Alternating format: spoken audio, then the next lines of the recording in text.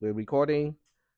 And today we are going to have to use the tablet for sure because what I'm doing is I'm doing this as if I'm doing this on paper so that you can get an, get an idea of your what it is like and you, then you can start to think about what will help you you know in the exam because it is still open book and open notes just like the first and the second exam but the format is quite different from those two so that's what we are doing here um, SCR, CPY, okay, nope. Yeah, it doesn't. Okay, let's do it again. Nope. All right.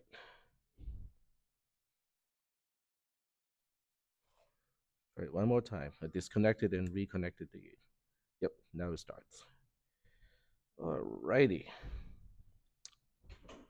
All right. So this is basically what we're going to do the entire day today is to just look at you know, the exam, um, just maximize it, you know, to kind of minimize the um, background. All right, so this is what yours is going to look like, okay? But I would still urge you to read the instructions as if you haven't read it. So typically, uh, the, the final exam for this class is me giving you a program. So the program, if I were to look at the last page, the program in C is on the last page. And this is the program written in C. Um, you are welcome to tear the thing apart just so that you can um, refer to the C code as one piece of program and then go back to the assembly code side by side. Um, I sprinkled the C code into the assembly code as well, okay? Um, so with this particular program, okay, let me start from the beginning. Uh, we have the usual thing, which is a structure. Okay, so structure pointers, they're all going to be in the final exam. So we have a structure which is called a node. It has a value, it has an L pointer and an R pointer. So that should remind you of your homework assignment a little bit. Um, and then we have an insert um, function here. It takes one PN and it takes the one double pointer, which is PP attach, pointer to a pointer to where we is supposed to attach to. It has a, a conditional statement. So we'll get into this later, okay? Um, if you spot something that you do not understand, we'll talk about it. But otherwise, you know, we're going to defer the actual discussion of each line until we get to the implementation and we, we try to spot you know, what is wrong with the code. Um, getting down a little bit, uh, we have your main. The only thing that may be new to you is how we use, how I use the word static here. Does every does anyone not understand what static is when it is applied to local variables? So there are two aspects of variables. One is the scope, okay? So local variables versus global variables, you know, determine the scope. But there's one second thing that most people do not think about. It has to do with the lifespan of your local of your variables. Global variables have a global lifespan, so that part is pretty easy to understand. You know, they exist before you get to main, and they continue to exist, quote unquote, you know, after you return from main. So that's global variable.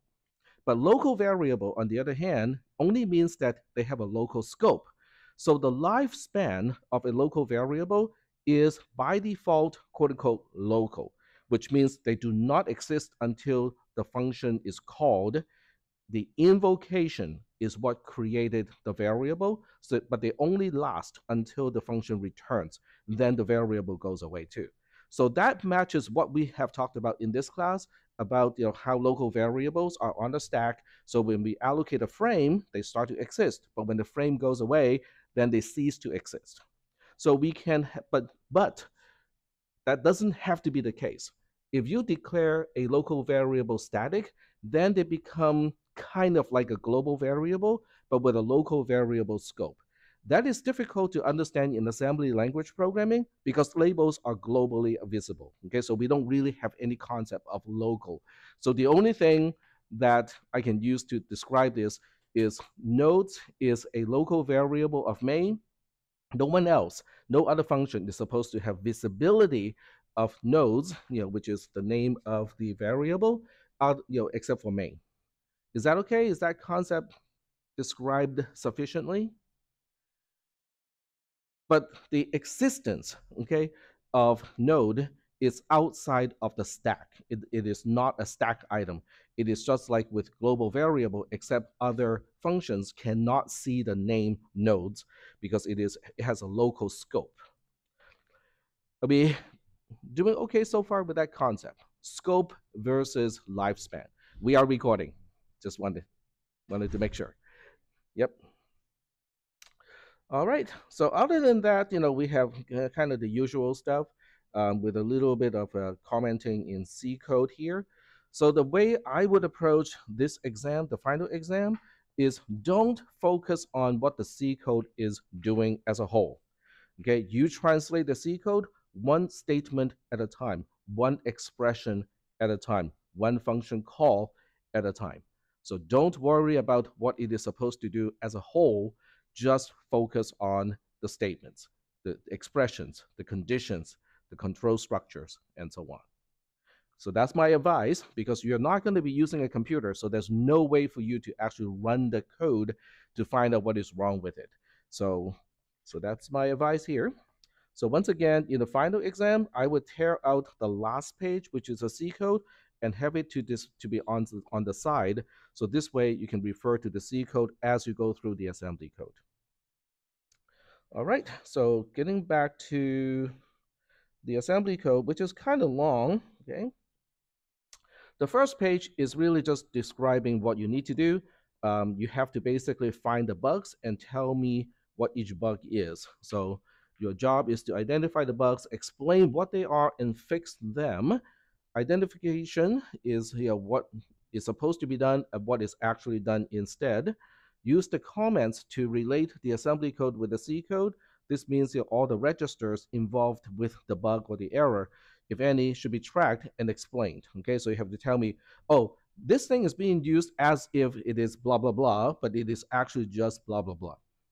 Um, explain why the expected code is not done, expected work is not done, and change the code to make it work. So basically, you're just describing me, describing to me, you know, what is wrong with the program and why the fix is going to work. All right, um, and you know, here comes one thing that is also important. Do not change code that is correct to begin with.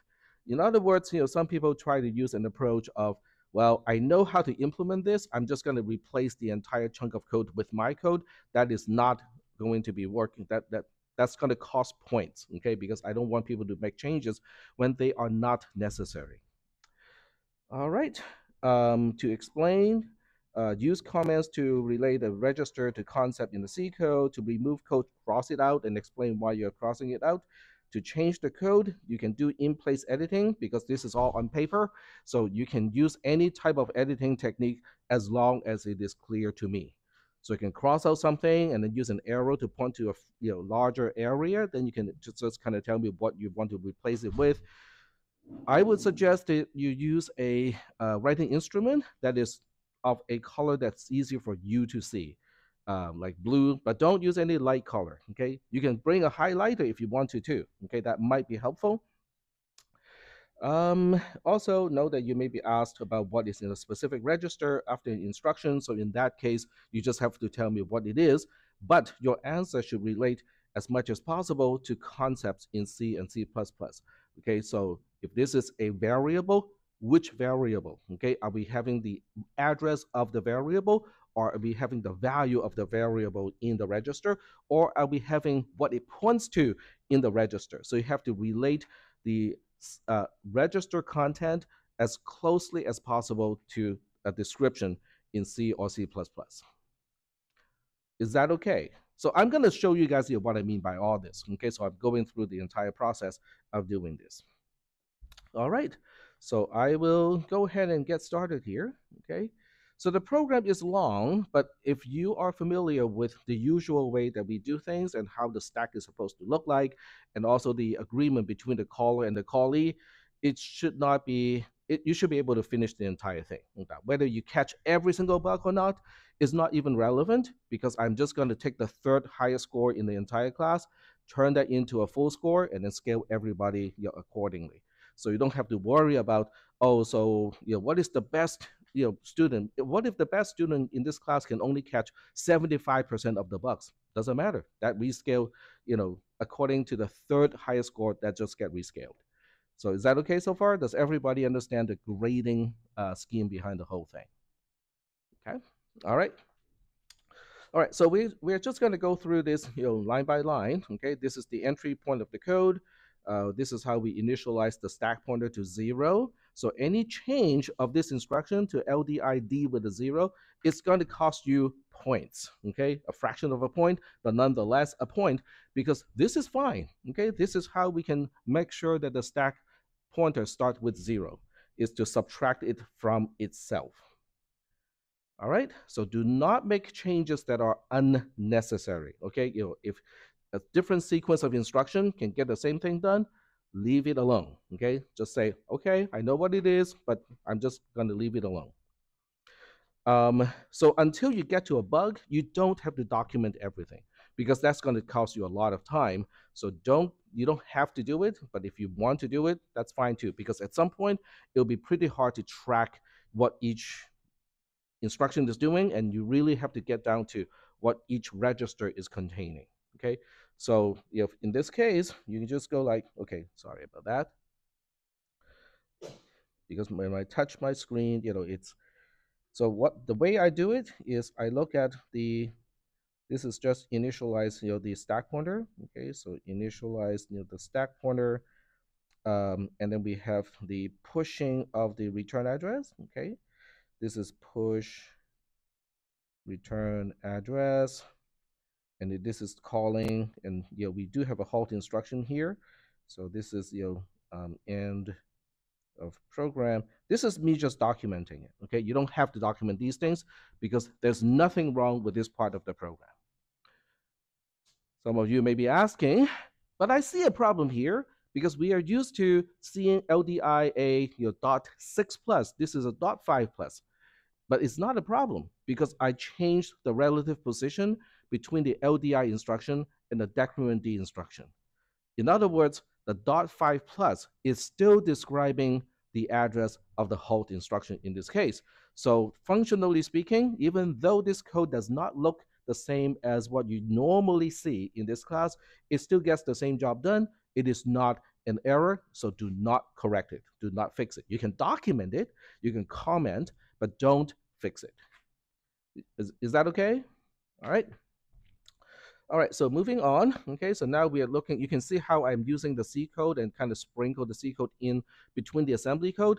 That is to help you to relate, oh, what is this bunch of instruction doing? Well, it's, you know, the commented out C code is what the assembly code is trying to do. So in this case, we have the offset to different members of a node structure. Um, v is the first member, it has an offset of zero. The next one is L. It is relative to V by one byte because V is only taking up one byte. The next one is R. It is relative to L. It also is L only has one byte because it's a pointer, so R is correctly defined. And then the size of the entire node is the last member or the offset to the last member plus the size of the last member, which since because it is a pointer, it only takes up one byte in TTP. So this definition is correct. I do not see any problem with it. Okay, um, and then we move on a little bit. So if you need me to stay on a particular at a particular place, you can always just let me know. Otherwise, I will keep talking and moving on. Okay, so now we have a pound defined num nodes to be five, and you know that is just done by a label definition of the same name. And then we have the entry point of insert. So the way I do this is I always you know, try to use symbolic names whenever it is possible. So in this case, uh, it has no local variables. So LVS is defined to be a zero. Do we have to do that? No.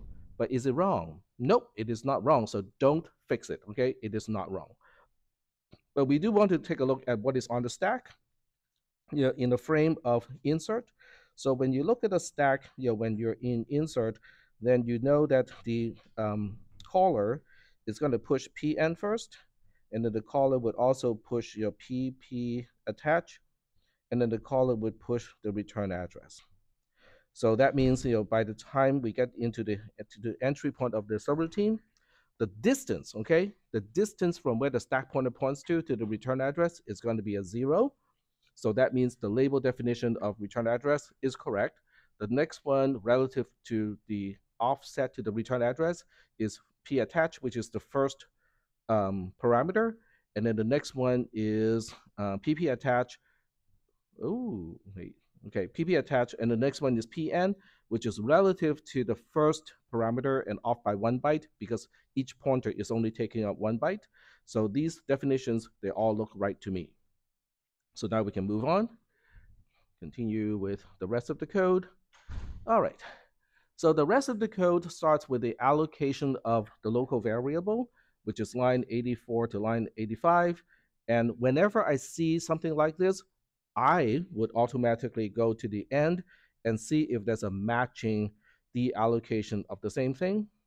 So I'm not waiting until the end because I want to look at the end of the function. So I can see the deallocation of LVS. Okay, now even though it is a zero, it still should be there. But I'm missing something here. What am I missing? What is this function missing? Because you can see main nodes, which is not a part of insert, is already starting here. What am I missing here?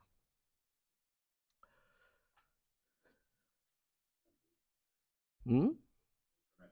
Increment D is a part of something else. So collectively, what am I missing? I'm missing three instructions.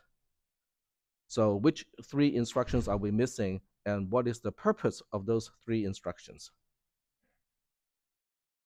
What, what happens at the end of insert? It will deallocate the local variables, which is, there's none, right? Because we know this label is defined to be zero. So it's basically it's adding zero to the stack pointer. And then what, what does it do? What is it supposed to do? It's the end of a function. What is the end of a function supposed to do? Return, exactly, okay? So it's supposed to return to the caller. There's no instruction here to return to the caller. So that means, you know, okay, we, we found a problem here. So to say it is an insertion, you can do something like this, okay? I'm pretty sure most of you are familiar with how to, you know, uh, indicate that you're inserting. So you can basically now say, uh, missing return to caller. And the instructions we need here is LD. It's usually okay to use B, okay, I should say always, um, because register A may be used to, to return a return value. So I would just kind of avoid using register A for this purpose. Uh, increment D to uh, deallocate the return address and then JMPB, in this case, to continue execution at the caller. So this would be sufficient, okay? You know, this tells me that we are returning, we are missing the return code to back to the caller, and this is what we're supposed to have there in order to return to the caller. But this is just the way I do things. You know, I just look at the beginning, I look for the end right away, I look at the structure, okay, and then we go back into the actual detail of the program or the function in this case to find out you know, whether it is done correctly or not. But you may have a different approach of doing things, you know, and that's perfectly okay as well. Um, I like to draw pictures, okay, and that's why I drew the call frame of insert. All right, so now we look at line 88, and the commented line means this is the C code corresponding to whatever instruction that follows. And I am truthful, okay, in this sense. Okay, I always tell you what C code is corresponding to the following assembly code as much as possible. Okay, so this way you don't have to flip flop between the actual C program and the assembly code. This gives you the context of what the following code is supposed to do. Okay, so in my head, okay, I'm just tracking here. Register A has the offset, then register A has the address, then register A has PP attach itself, and then the register C has what PP attach points to. So when you look at line 96, uh, 91, sorry, 91 and 92, I am supposed to explain, so I would do that. So I'm gonna say um, A is the offset to PP attach, and it is okay for you to use abbreviations as well if you want to. So now A is the address of PP attach. And at this point, A is PP attach, and the register B is one more dereference. So B is whatever PP attach points to. Is that okay? So I would write the you know comment like this in case there is an error. So now I have to ask uh, ANSI, okay? So we are comparing, we're not comparing, we're forcing register C through the ALU so that I can determine whether it's a zero or not. All right, so now the question is, am I going to the right point?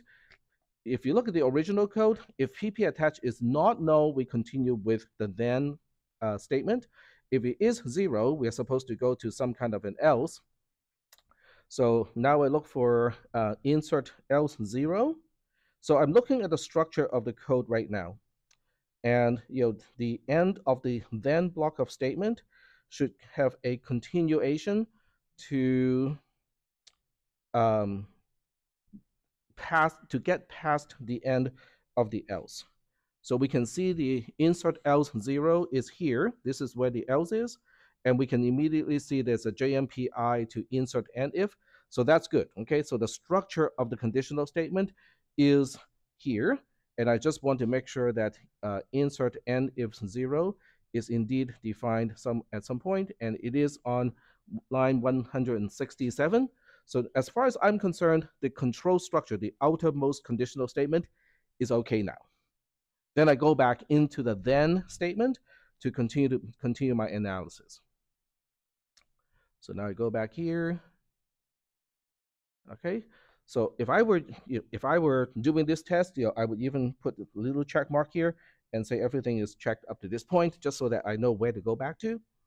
All right, so the next statement I need to, or the next conditional statement I need to look into is this thing here.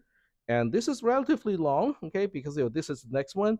This is you know all this stuff here, okay, from line 97 to line 106, you know, more or less, is really corresponding to the conditional statement that is commented out on line 96. Okay. All right. So once again, okay, if you look at something that looks really complex, don't be intimidated. Okay. What you need to do is to break it down step by step according to the sequence of instructions that you need. In other words, if I were to do this, what do I need first? Then what do I need? Then what do I need? And so on. Okay, so look at the dependency of those concepts. Okay, so ultimately I need to compare, but I need to figure out the left-hand side and the right-hand side for the comparison. Um, so according to this code, the first thing we do is to get the offset of Pn, we um, use a LDBB, okay? Wait, hold on a second here. What is insert PN? Is that the address of the parameter? If it is not, okay, because the question obviously hints that it's not, what is it? What is the label? The label defines the offset from where the stack pointer points to to the thing that we name after. So that means, wait, hold on a second here. By the time we dereference register B, it is not an address. So we are missing something here. So we'll go ahead and, so I'm going to comment it because according to the description, you know, if, when I fix a bug, I have to comment, you know, what is the problem.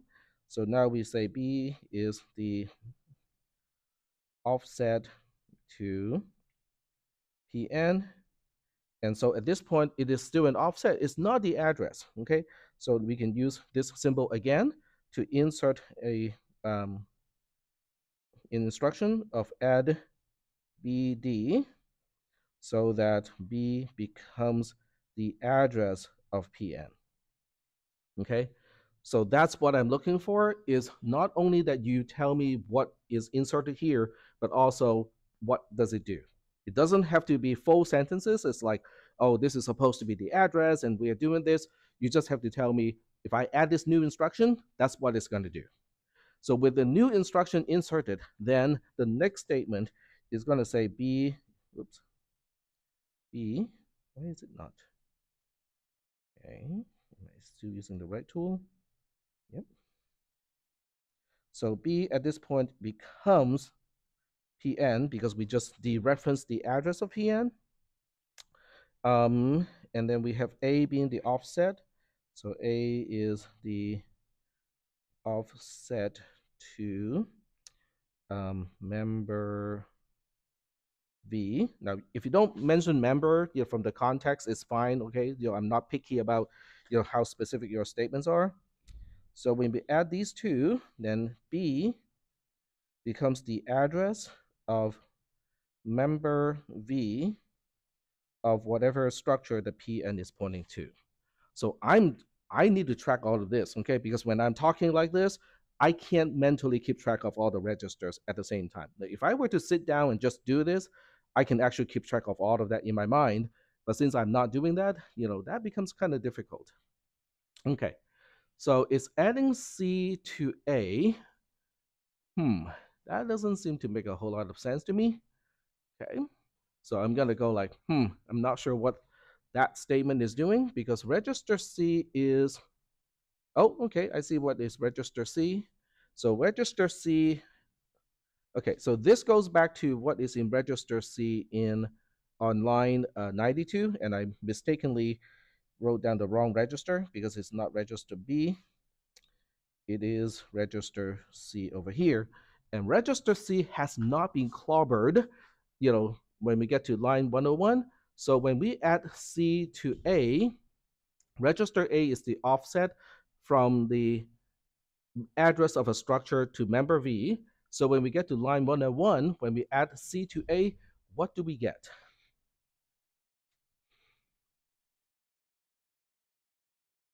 Okay.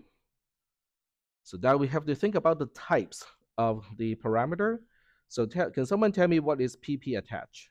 What is the type of PP attach? It's up here. It is a pointer to a pointer to a struct node. Okay what is in register C is PPA, whatever PPA points to. So whatever PPA points to is basically now we have one more asterisk as the type. So we have the address of a node.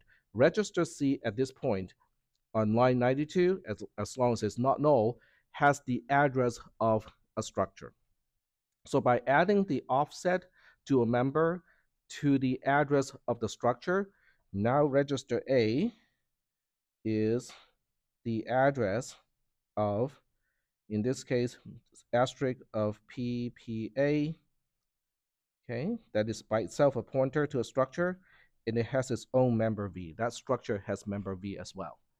So that is the kind of thing that I would track, okay? Um, and this part here, okay, all the work that I have done up to line 101 is based on your understanding of the concepts in CISP 360. Now, is it a little bit twisted and a little bit kind of cumbersome? Yeah, I would say it's a little bit like, like that. But if you do it step by step, you can come to the same conclusion. You can track all of that. It's just a matter of you have to keep track of all the registers.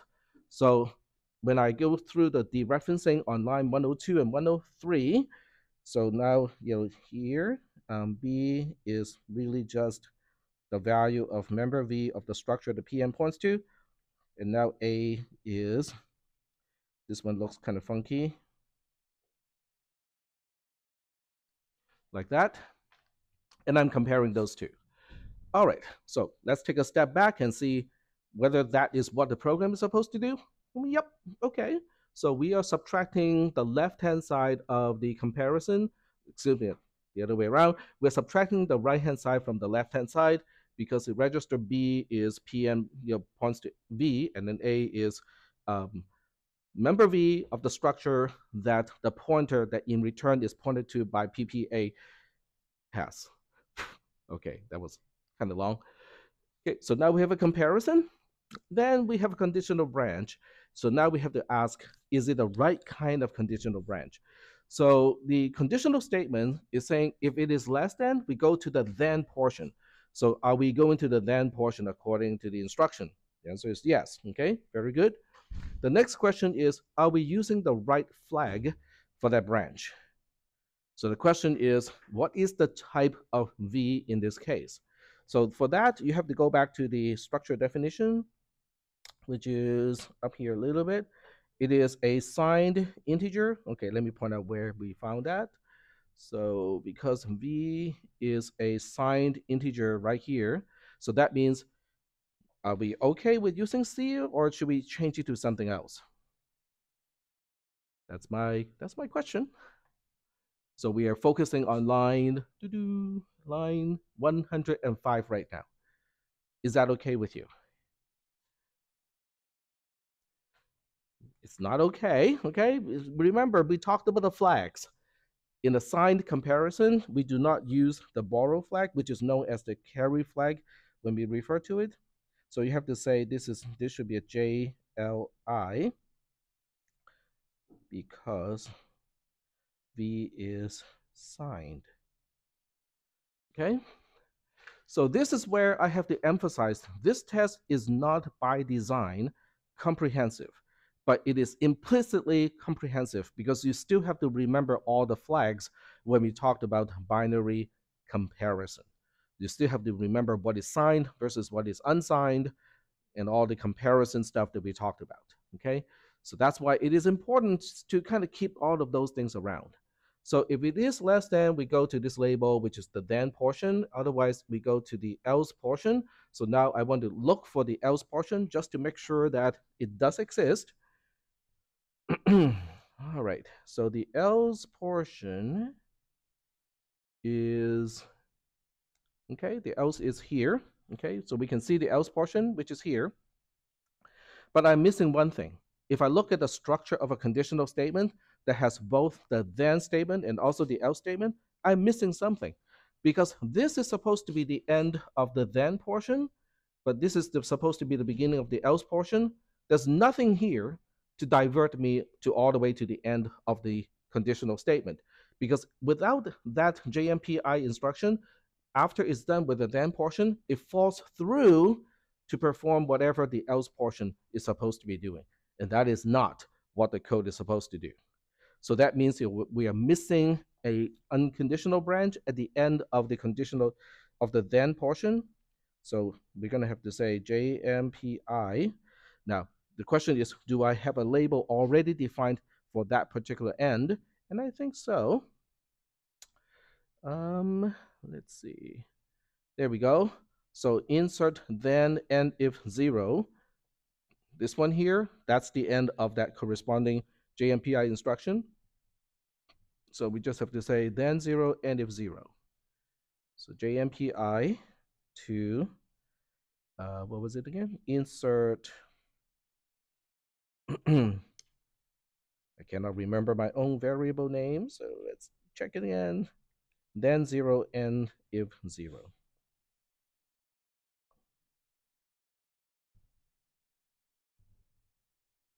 Oops.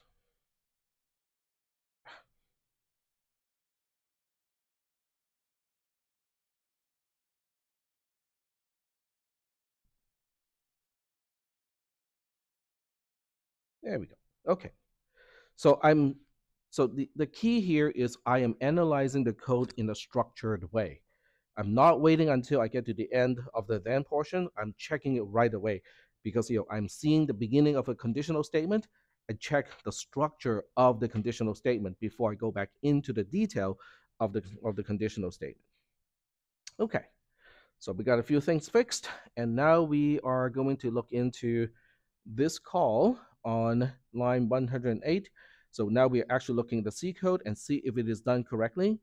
Um, all right, so we are adding L, we are loading node L to A, and we are adding A to C. Register C is still unmodified, so that means at this point, register C is the address of whatever PPA points to, and that is its own pointer to a structure. And then we are looking at the L member of that structure, but we are only getting the address because I'm adding the offset to member L to the beginning of the entire structure. Is that okay? Are there any questions about this? So all of this has to do with I keep track of what is in each register. Because if, if I scroll up a little bit earlier, you can see that, you know, I know what is in register C all the way back on line 92, and that has not changed. Okay, so that's why you know it is important for you to write down what is in the register because it can come in handy in the future so that when you have references to the value of a register, you have to know what is in that register.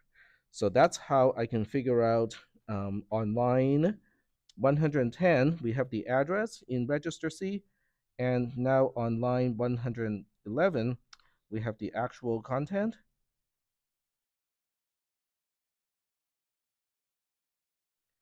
All right. All right, so now we look at the context of this whole thing. It's like, wait, TAC, why are we having the, the value of member L of the structure that is pointed to by a pointer, which in return is pointed to by PP at, attached? It's like, we're not supposed to have the content or the value of L. We're supposed to get the address. So I think that we dereference one time too many. Okay, so now you can go like here and go to the same line, which is line 111, cross it out and say, you know, one, two, many, dereference, because we're supposed to push the address on the stack, not the pointer itself on the stack. Is that okay? I wouldn't be able to spot this error if I had not been you tracking you know, the instructions. Okay. But there's no push here, okay? So now we are looking on the at the first argument, or the second, sorry, the second argument, which is PN. We have the offset, we have the address, and wait, hold on a second here. We're not supposed to push the address of PN, we're supposed to push the actual PN on the stack. By the time we push B, okay, we do not have another dereference. So that means I have a missing dereference in this case. So now I have to go in here, and say uh, we need um, LDBB because if you look at this point here, B has the address of PN and now B has PN in it, which is what we're supposed to push. All right. So we decrement D, we push B, which is PN, okay? We push the second argument first, and then we push we decrement D again, and then we push register C, which has uh, the address of member L of the structure that is pointed to by a pointer, which in return is pointed to by PP attached. So that is now pushed on the stack on line 117. Um, oh, okay, syntax error here. We have two plus instead of one. So we cross this out. Okay, so we just put a circle here. One plus, and that's the return address. Make sure that we push it on the stack. Just because I put it into a register does not mean it is on the stack. So we have to make sure that it is pushed on the stack. We continue execution at insert, which is the call. We increment D twice because there are two arguments still sitting on the stack when it returns. And that's about it. Okay, that looks good to me. Okay, and then whatever the return value of insert is, becomes my own return value because you know I'm supposed to return the return value without any changes. So that's okay. Once I have the JMPI to the end of that nested condition, that conditional statement, we are all good there. Yep. See again? Dot six plus. Um, the dot five plus, oh, you're correct. It should be a dot six plus in this case. Oh, When I touch the screen, they change the uh, six because decrement D is after LDI. Okay, thank you. That's a good spot over there. All right. Okay, LDIC dot six plus, decrement D, STDC, JMPI insert. Okay, I think we're good there. All right, so let me take a look at the time. All right, so now we move on to line 127 and the code that it is supposed to do.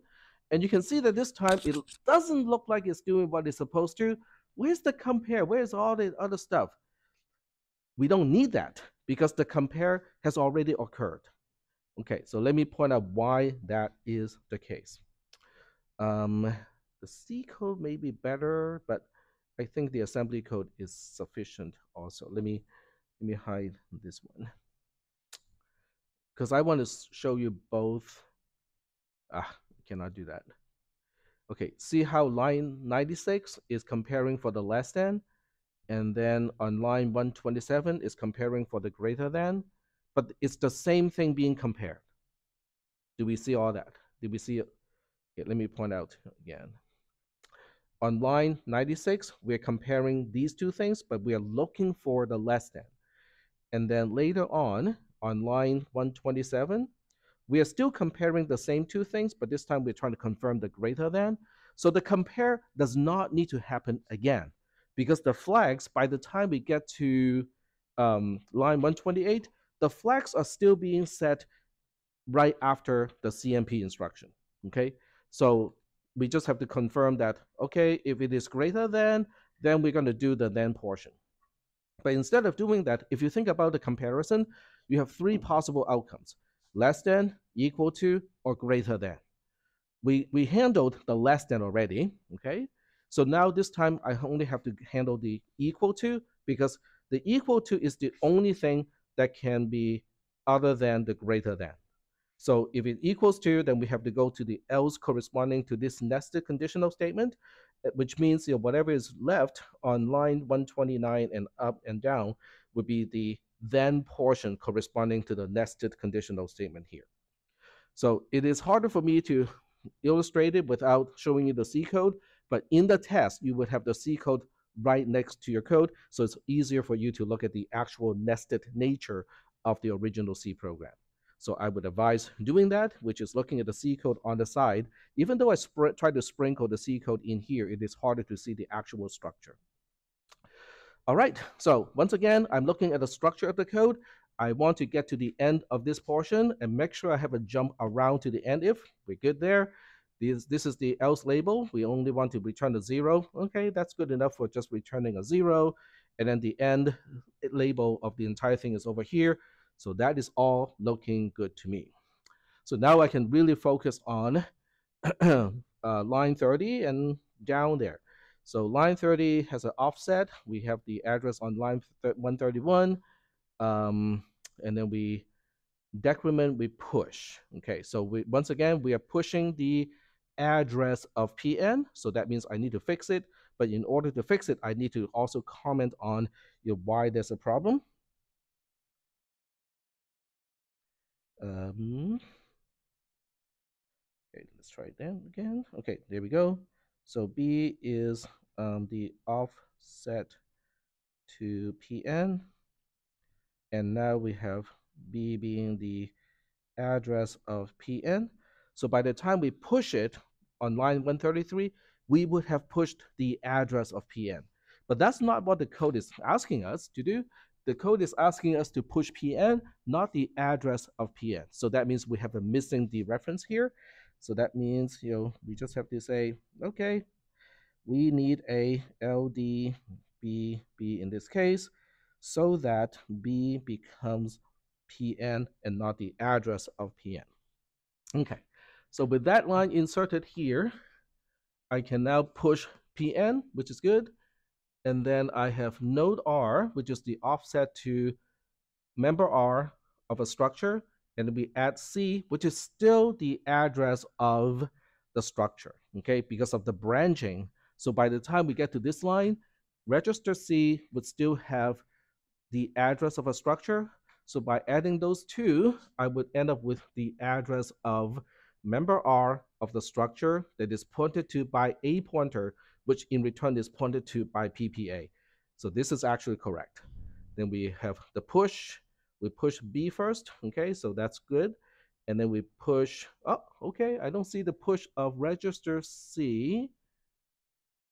There's one here, but this register, this register B was never pushed. So that means I got some missing instructions to add back here. Okay, are you guys following all this? Okay, so we have register B calculated by the time we get to here. Okay, so register B is now the address of this thing here, which is the first argument of the recursive call. I got the right thing in the register, but I never pushed this register B. Well, let me see. Oh, we do? Okay, so we did push it. Okay, that's all good. So we push the uh, register B, and then we push the return address. And once again, the return address has one too many plus. But other than that, it is also using the wrong is using the wrong offset because decrement D this time is before the LDI instruction. So we got two things to fix with that. Okay.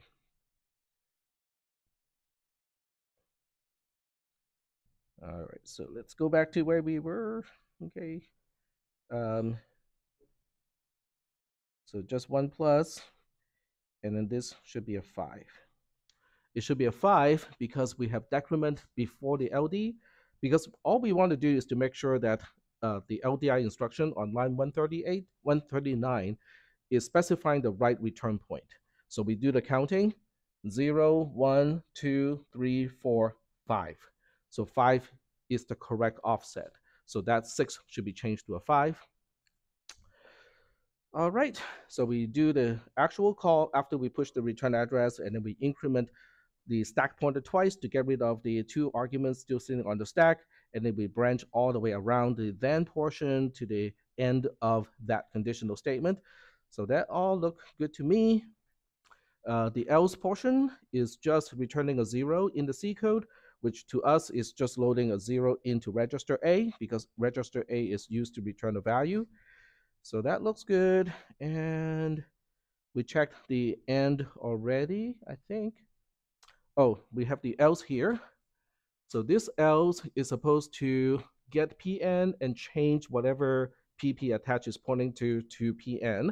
So we just do this step by step, okay? So at this point, I have no idea what this algorithm is really doing. I'm focusing on the statements, I'm focusing on the expression, I'm focusing on what each register has. All right, so we have the offset. Aha, we're using the offset as if it is an address. So what is in, what is missing? Yep. Yep, I have to turn off one of the touch event because whenever I put my palm on the surface, you know, it jumps to the end of the page. So this is the offset to PN. Then I'm using it as if it's an address. So that means we are missing a L add uh, BD so that B becomes the address of PN. With that, then B is PN here, which is good. That's my right-hand side. And now the question is, does register A have whatever PP attached is pointing to? So the question is, how did I get to insert uh, else 0? So that means I have to now go all the way back. Okay, so now my attention is I need to come back to line 163 once I'm done, but I need to go all the way back to see what is the branch that will let that will lead me to insert underscore else zero. So we have to go all the way back here and see that ah, this is the only reason I can end up at that label. And then at that point, register A has PPA in it. So that means by the time we get to, so that's why I said earlier, you have to kind of keep a mental note of where you were at because we are supposed to get back to line 163. So by the time we get here, register A still has PPA in it. And the statement says, don't change PPA, change what it is pointing to so that would be correct because we are changing whatever PPA is pointing to using the ST instruction. So this actually does check out, not a problem. So if it checks out, don't fix it, okay? You can comment if you want to, but do not suggest any changes. Um, and then we have a single return one after this, okay? Loading A with one is what we need. And if, okay, and then the rest we check already because we uh, we check the program systematically, structurally. So we actually check that earlier when I just look at the overall structure of the of the function. All right, so now we're on to main. So the first thing main has is uh, nodes, which is a local variable. So the only thing that looks like a local variable in this case is main underscore nodes because um, that tells you that nodes belongs to main. So we have 500, 700, and then the rest should be correct as well. We have a 300, 100, and 900. Okay, so those are all correct. So we are good up to line 199. And then we get to main. Main has um, local variables, um, which I did not show here. But these are local variables of main. P root, P node, counter, those are all local variables. So these are the offsets once we set up the call frame. Um, P root is the first one, has an offset of zero from where the stack pointer points to. Once we have the frame set up, uh, P node is next. So it is after P root um, off by one byte because that's the size of a pointer. Counter is right after P node. It is also one plus because P node is also just a pointer. It takes up one byte on the stack. LVS local var size is the offset to the last local variable plus the size of the local variable itself counter is a unsigned 8-bit integer, so that's why 1 plus is also correct. So this calculated the, uh, the right size of the local variables correctly, but the only reason why we do the calculation is because we needed to allocate for the frame, okay? Because the a function is responsible to allocate for its own local variable. So that means, hey, if I'm referring to the offset here, I better make sure the frame is already set up, which it never was. So that means I'm missing some code here to set up the frame. So now I have to do the insert notation and say LDI B with main LVS, um, subtract B from D, okay, to allocate local variables, okay. So by the very same token, I better make sure that I deallocate it too. So this is what I meant when I said, you know, I look at the program you know, in a structure way. So at the end here, I do not see the matching end of deallocating. So that's what we need to do here as well, is to LDIB with main LVS. And then this time we're adding. Oops. Um, we are adding B to D. There we go. Okay, so to D allocate local variables. Okay, so with that done, we are now back to the beginning. All right. So now we do some tracking. Um, B is zero, it is the right-hand side. We have main root, which is the offset loaded into A. Uh, adding D to A makes it the address of root, and then we copy B to A. That's all good.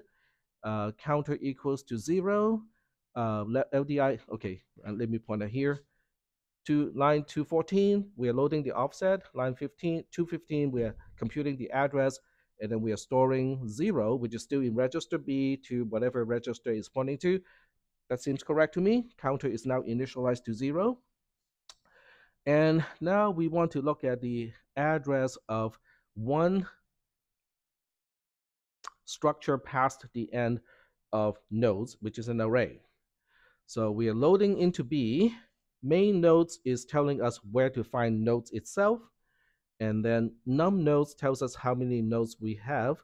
Node size is the size of each node. So when we multiply these two using this multiplication, we have the total number of bytes needed by the array itself, and then we add the product to where we find the beginning of nodes. That is the address of the last one element past the end of the entire array. That seems correct to me. So line 218 is correct. Line 219 is computing the offset of P node, adding the uh, stack pointer to the offset, gives me the address and then we store B, which is the address of the element past the end of the array nodes to whatever A is pointing to. A has the address of P node. So that seems correct to me. Line 221 is okay. And then line two twenty two marks the beginning of a loop. So once again, we have a control structure. What I do is I look at the structure first, and then I go into the, the loop itself. So it helps to kind of change the thing here. So in order for a loop to function, we need to have a label that marks the beginning of the entire loop, which is what line 223 is doing. Uh, we need a branch all the way to the end. So that's what line 230 is doing, is getting to the end to exit the loop. But at the end of the loop, we also need an unconditional branch back to the beginning of the entire loop, which is missing. Because when you look at this, this line is supposed to be the end of the while loop. So without the JMPI back to the beginning, it's going to fall through. It is as if it is just a conditional statement. So that's not okay because this is supposed to be a loop. So that means you know we need to add uh, a label uh, JMPI here, JMPI to. I use a very you know, standard way to name the labels. So main while zero underscore begin to get back to the beginning. I mean, you have freedom of how detailed you want to right here, okay? But the point is kind of explain to me why we need that instruction, okay? So this is how I do things, okay? You don't have to do it the same way, but I just you know, like to analyze the structure of things first, and then we get to the detail inside of the structure. So now we are ready to get into the actual body of the loop. So the first thing we need to do is to get the address of node bracket zero, which is the address of the first element of the array, which is really just the beginning of the entire array itself. And we want to check whether p node is that or not. All right, so uh, line 224 is computing um, main nodes is the beginning of the entire array. We multiply zero to node size, you know, because you know we are addressing um, the first element, and then we add that product to the beginning of the entire array. So that seems correct to me. Okay, so line 224b, register B has the right hand side of the comparison. Wait, but line 225 says, let's add the stack pointer to B. That's not right. Okay, so we are going to have to fix that. So we say, nope, we don't need this. Um, an explanation is node is not on the stack. Okay? Because nodes, even though it is a local variable, it is declared static in the C code. So that means it is not on the stack. Are we doing okay so far with that concept? Because that's one of the concepts that we may not have discussed in all the previous sample programs. But it is in CISP 360, or it should be. Is it okay so far? Okay. If it's not, it is okay. It is being recorded. So, you know, I can actually give you the code. I can give you the corrected code as well. So you can actually run it and play with it until you are convinced that you know what is happening or what should be happening at what time.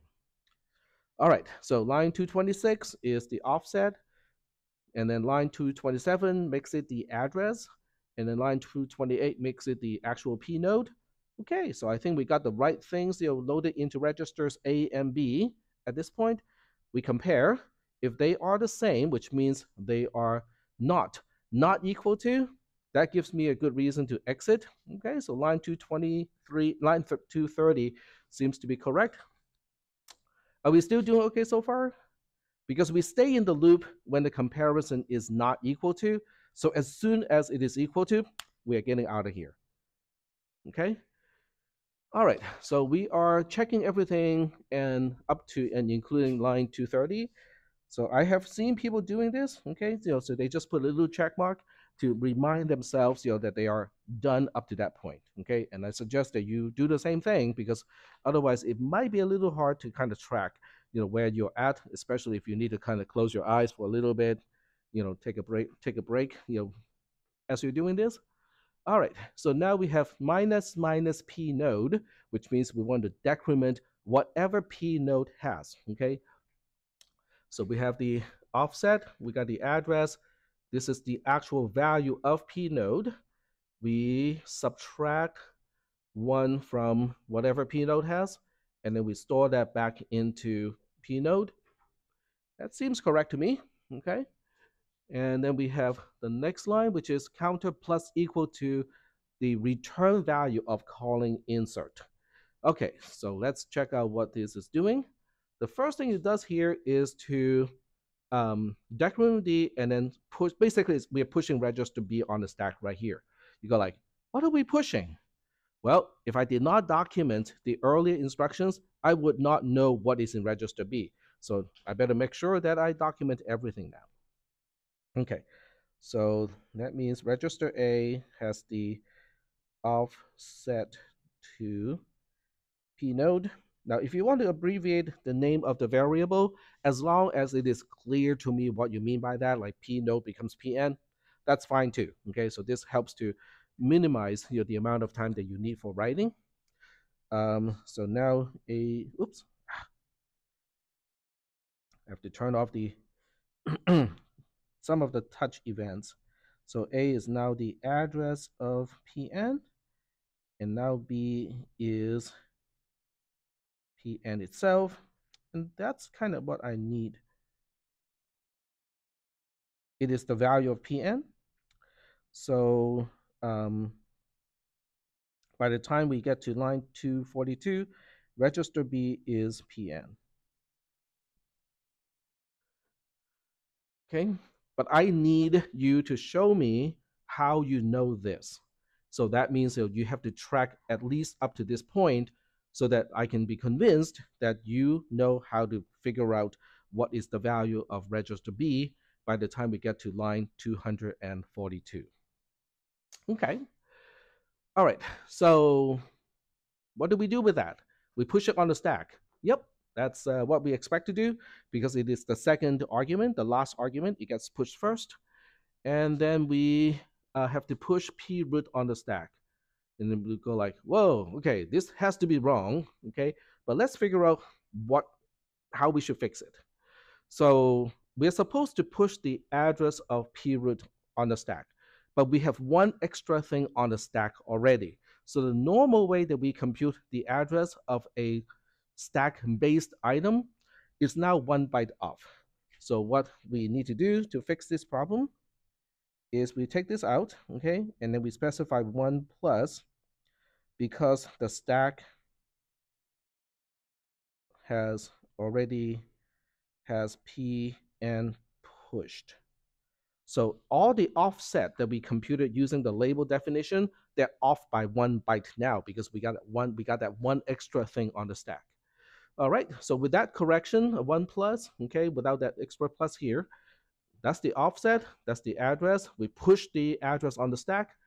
That's okay. That's what we are supposed to do here. We push the address on the stack.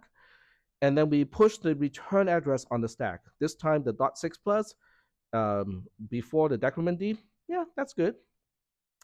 You can know whether it's good or not just by counting because we have 0, 1, 2, 3, 4, 5, 6.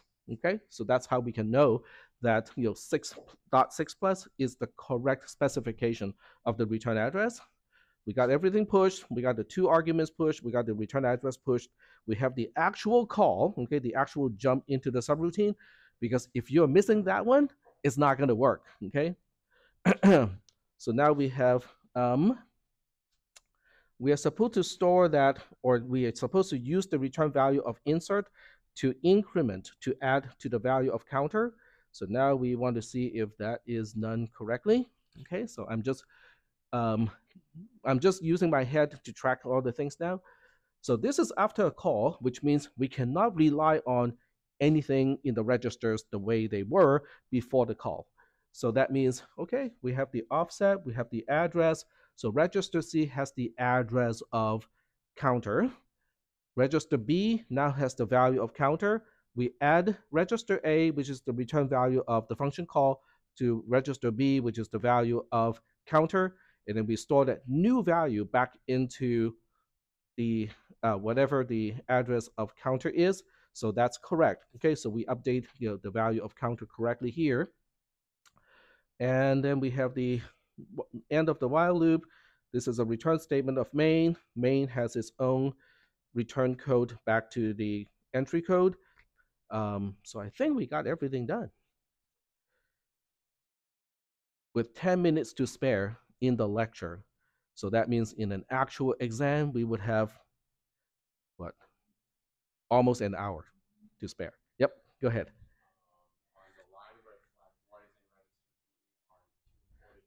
Oh, did I forget? Uh huh.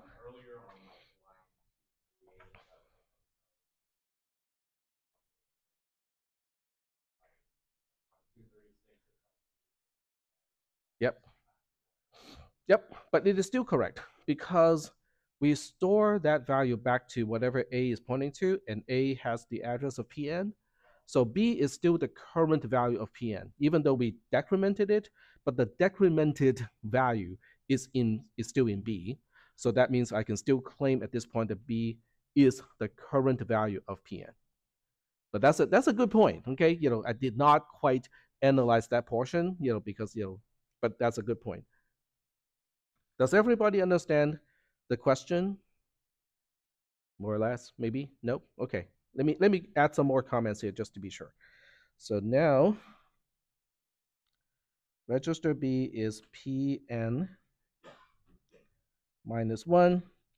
And now register B is Pn again because we store the value of Pn minus 1 back to Pn. So by the time we get to line 239, the value of register B is once again the value of Pn because we store that back to where Pn is supposed to be on the stack. All right, so we still got a few minutes, like eight of them, before the end of the lecture. Given this is the format of your test, okay, and I know for sure this is going to be the format of this final exam as well, how are you going to pre prepare for the exam? So I have a few things to suggest, okay? First of all, a little checklist, okay? Now, how you want to write your own checklist is up to you, okay? I have the entire checklist in my head, but it's good to write it out too. So what you're looking for are all the caller callee agreements, Okay, so make sure you write all of those or know where to find it. You can just print by module if you want to. Perfectly okay, not a problem. Um, so that would include the ordering of pushing the arguments. Last argument is pushed first, and then you push the return address, and then you do the jump. But the caller is responsible to de uh, to deallocate all the arguments. If there's any return value, it's going to be register A, right? So all of those are, you know, okay, there's a little bit more. The callee is responsible to pop the return address. Okay, so that's also important.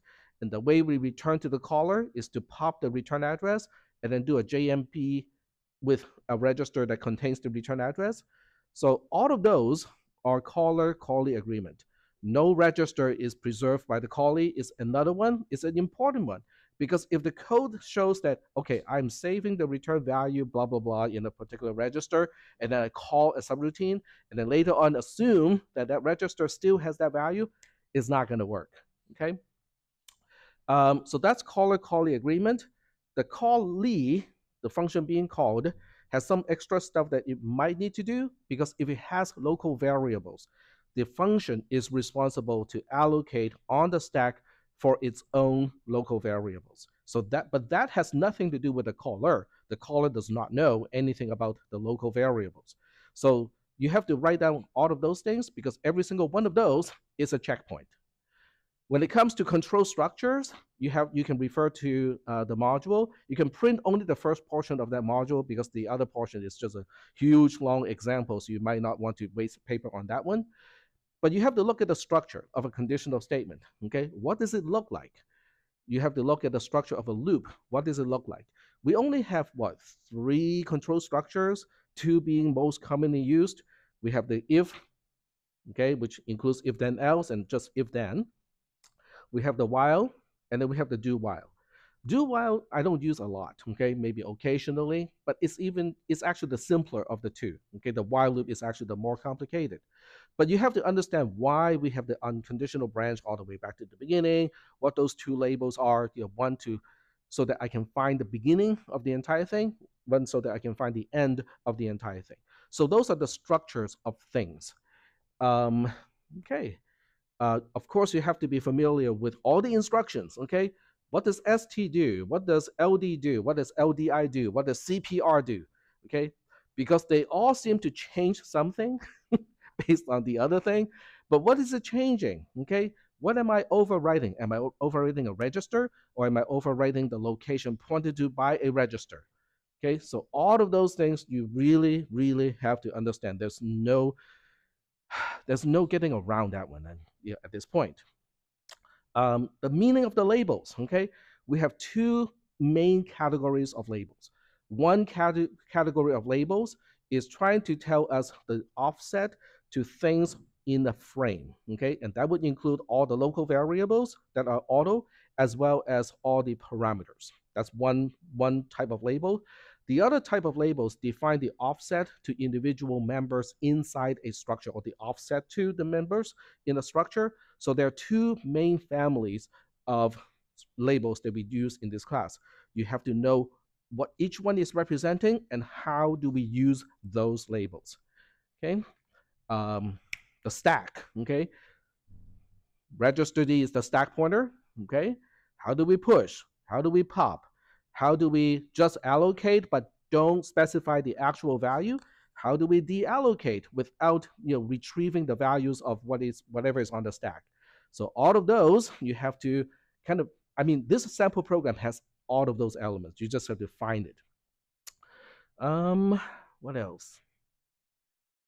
Oh, track what is on the stack. Okay, because the labels to all the things in the frame they are based on the assumption that we are just done allocating for all the local variables. So they have that assumption.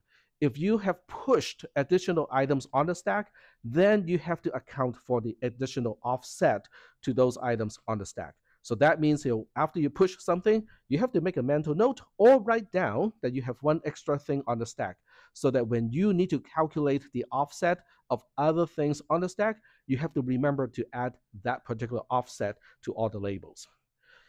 All right. I think that's about sums up all the things that you need to kind of remember. The only question is how quickly can you track the registers? And that comes with practice, which means for people who have not done a single thing that I have suggested since the second since the end of the second exam, which is this is my sample program. I intentionally leave out all the comments. It is your job. I want you to use that as a note taking and a, and a tool to help you understand all the you know how to use the registers. For people who just ignore that recommendation, if there's still time to make up, but you're gonna need some you know intense follow up exercise to get familiarized with that. But for people who have been doing that all along, you know, it should be relatively quick to figure out, oh, okay, this is intended to do this, this is doing this, okay, now we have that in that register. So, and just kind of, you know, write down those things because I cannot track what is in the register unless I write it down, okay? So all of these are important things. Um, for those of you who are visual, bring graph paper so that you can visualize what is supposed to be on the stack, what is pointing to what, and so on, if you want to track that. Um, you can bring a C programming textbook if you want to, but I don't think that is necessary because you know the operators that we have used are the most basic of the pointer stuff, structure and arrays. I mean, there's nothing special that I use other than you know what should be already been covered in CISP 360. Um, You're welcome to bring all the sample programs with you. For those of you who want to bring, you know, all the sample programs that I have done up to this point, or all the ones that you can get your hands on from other you know, students that you have come across, you can do all that. I'm not sure whether that's going to be super helpful or not, you know, because when you're already in the exam, trying to look up something in the sample program may not be very effective, okay, because that can use a lot of time. Um, that's all I can think of. You know, everything should be on paper, know, no electronic devices other than a calculator. And I don't think a calculator is going to be super handy in this test, but you're welcome to bring one. Um, do you guys have any questions?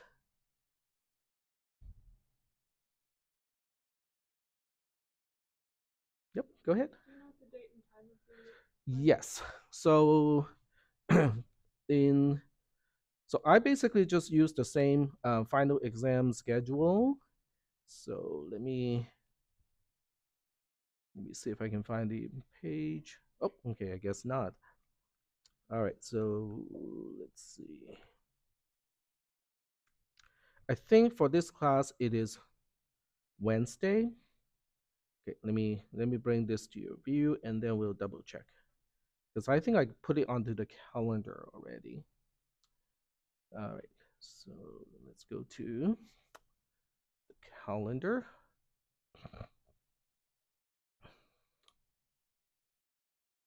Um, yeah, I don't have any particular lab for today.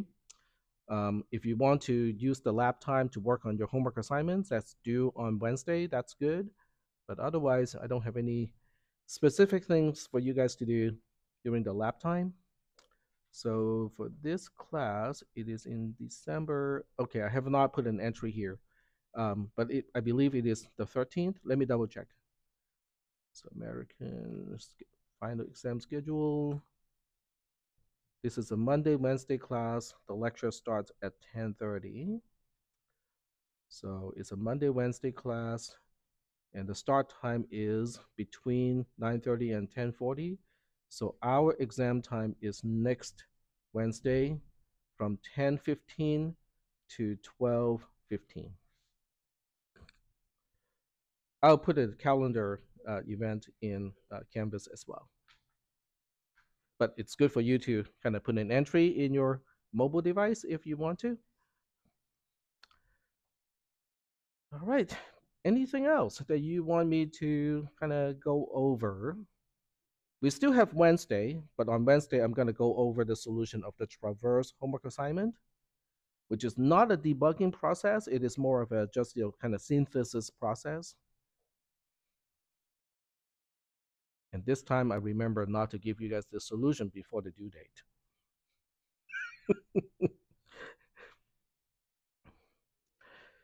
All right. Anything else? it's just a lot of stuff to track. So if you have a specific way to help you track all those registers, you know, it's going to be helpful.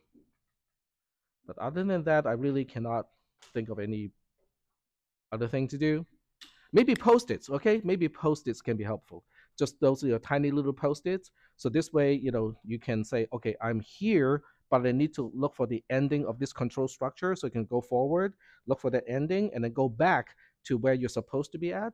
So you know, just a little tiny little post-it as a bookmark, you know, that can be helpful. Highlighters can be helpful. Bringing you know pens or writing instruments of different colors may be helpful. Um, yeah, I cannot think of anything else.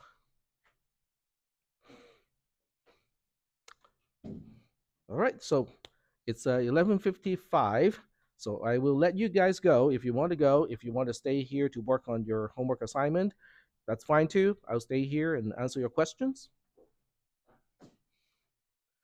All right, see you guys all on Wednesday. It's going to be a useful class because you know the more you have exposure to these concepts, the more you're prepared prepared for the final exam. So I would definitely come to the Wednesday class so that you know we can go over the concepts again. It's just a matter of getting used to the concepts. All right, I will post the uh, recording online and See you all on Wednesday.